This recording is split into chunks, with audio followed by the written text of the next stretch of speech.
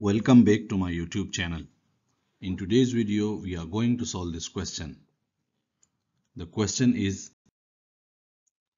if area of the rectangle, this rectangle, is 50 centimeter square, how we calculate this green area?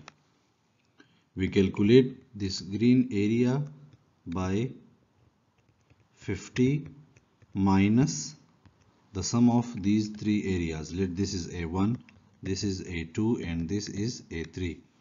If we subtract this sum from 50, we can find this green area. But how we find A1, A2 and A3?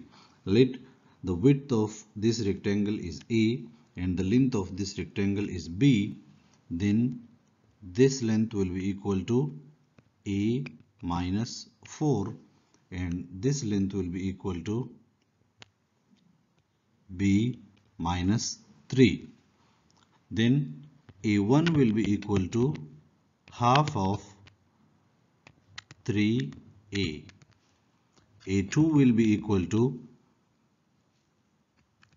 half of 4b and a3 will be equal to half of a minus 4 into b minus 3 we simplify a3 a little and we can write half of ab minus 3a minus 4b plus 12 multiply 1 by 2 with all these terms and we can write half of ab minus half of 3a minus half of 4b and then half of 12 is 6.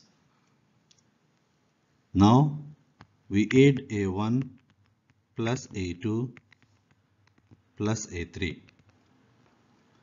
So half of 3a plus half of 4b plus half of ab minus half of 3a minus half of 4b and plus 6. This term will be cancelled with this. This term will be cancelled with this and we will get half of AB plus 6 where this AB is equal to 50 centimeter square. AB is 50 centimeter square. So we put 50 here and half of 50 plus 6